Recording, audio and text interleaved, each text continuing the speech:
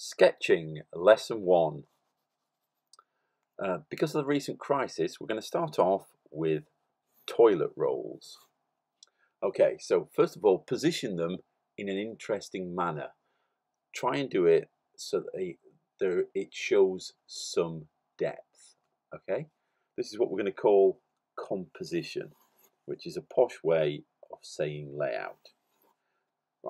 When we start, make sure we have a sharp pencil. Okay. Now, the object we're drawing is very white, so uh, it's quite hard to see. It doesn't show up too well on the video, but amazingly, it does show up my grey hair. Anyway, sketching lightly first. Try and make sure any upright lines are parallel with the edge of the paper and slowly add detail. I'm trying to sketch this without using a rubber so uh, I'm drawing lightly to start off with and then uh, adding the dark shade later. As you can see I've just started with the center of the rolls there making them a little bit darker just to allow you to see what's going on a little bit more. I'm doing a bit of cross-hatch shading on the side now.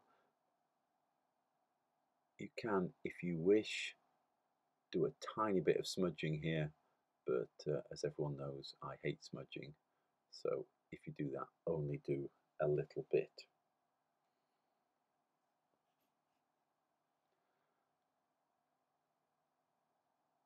Adding slightly more detail, working slowly. So start off light and then we can add the detail in later.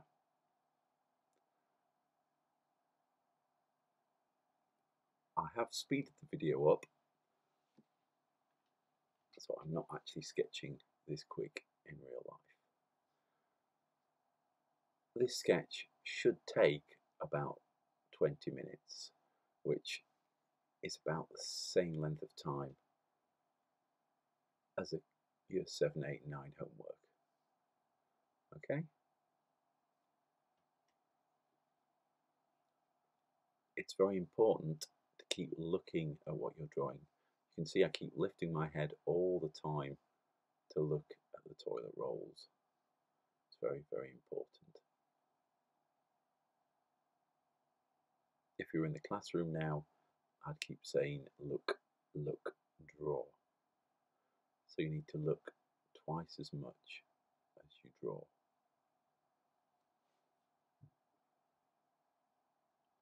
This is the basis of observational drawing. The crucial word there being observational. Up to now, I'm just shading a little bit of detail in there to try and avoid using an eraser, because I did say I don't like using erasers when we're doing sketching. Pupils spend far too much time rubbing out rather than working over the top.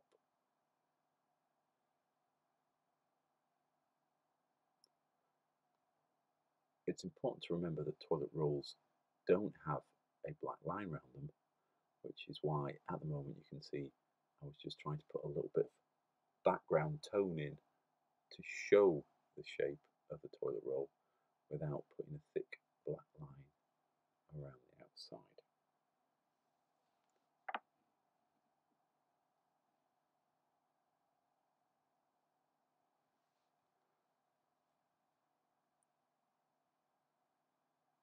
Don't worry about silly mistakes. Try and draw or sketch with confidence. If you make a mistake, who cares? Doesn't matter. Just go with it. It's better to finish one drawing than never get it finished because you're constantly rubbing out with the eraser. Now I'm using a 2B pencil here, but a HB pencil is fine. The reason I'm using a slightly darker pencil is to try and help it show on the video. But you don't need anything special to do this. just an A4 piece of paper and a pencil.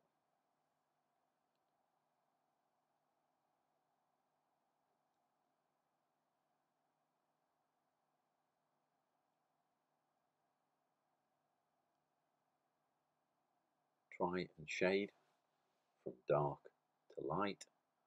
So again, the shading has no line around it. It becomes a tonal drawing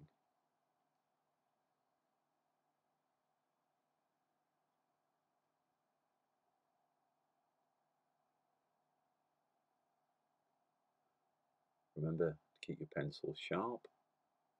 That's very important. You can't draw with a blunt pencil.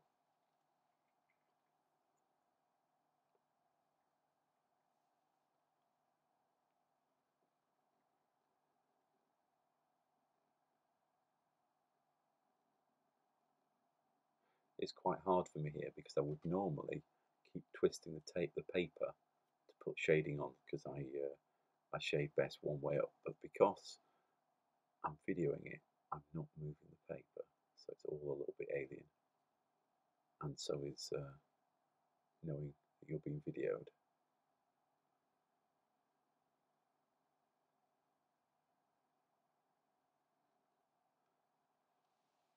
I'm looking at the toilet rolls from a slightly different angle to the camera, which is why my picture isn't the same as you're looking at through the lens of the camera.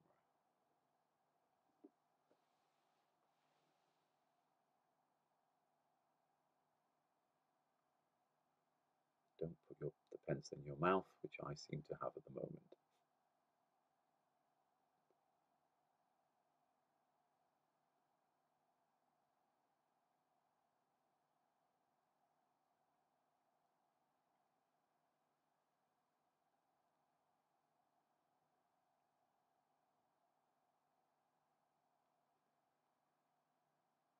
It's important to remember if you enjoy sketching and drawing, the drawings will be better.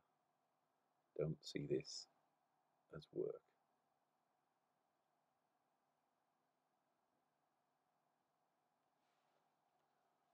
This is hopefully the first of a series of videos I'm going to make whilst the school is shut.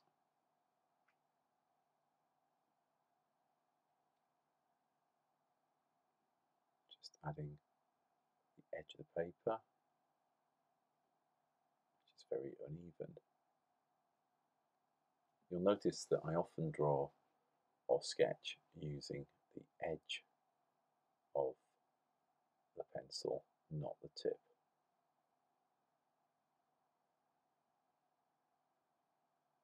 Just off the background again, try and make the rolls stand out because they are white.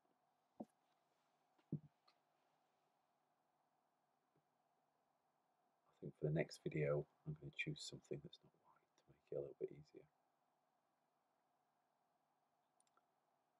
Can you add your name to your work and your year and then if you photograph it and forward the image to me I'll know who sent it when I'm marking them.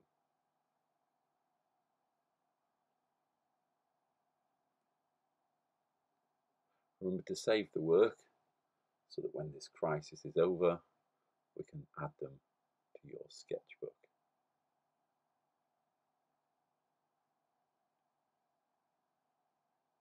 Just putting the finishing touches on now to what is essentially a very quick sketch of some toilet roll.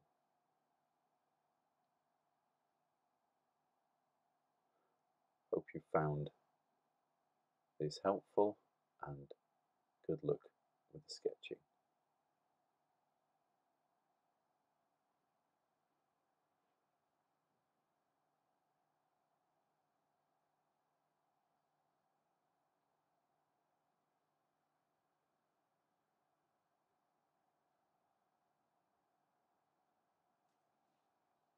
and the finished.